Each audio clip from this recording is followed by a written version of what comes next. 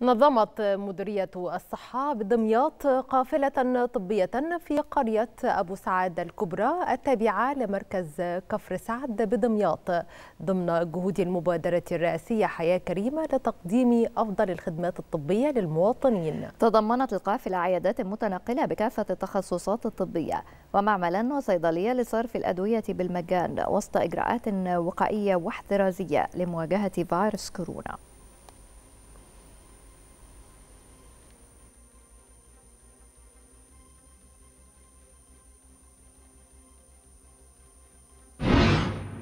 القافله العلاجيه وضمن المبادرة الرئاسيه حياة كريمة موجودين في قرية أبو سعاده الصغرى والتابعة لمركز كفر سعد.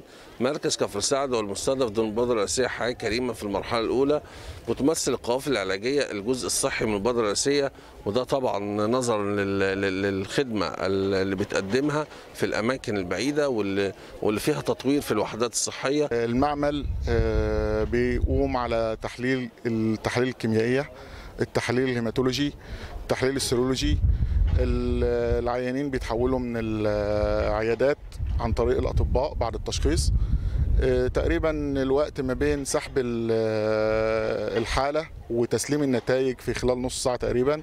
بنقدم لهم فيها كل ما هو جديد فيما يخص صحتهم وصحة أسرهم.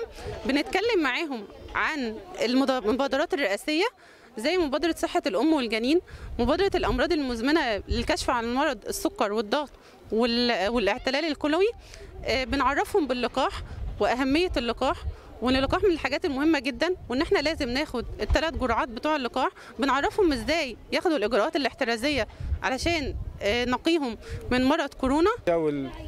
والوحدة الصحية مهدودة للتجديد فبنشكر القائمين على القافلة الطبية النهارده وفيها إن شاء الله جميع التخصصات والناس بتكشف أهو وكل حاجة إن شاء الله مظبوطة وتمام وبيصرفوا العلاج مجانا إن شاء الله. إحنا مسؤولين إن إحنا بندخل التذكرة الخاصة للمواطن من أول لما بيقطع التذكرة خالص لحد لما بينهي الخدمة.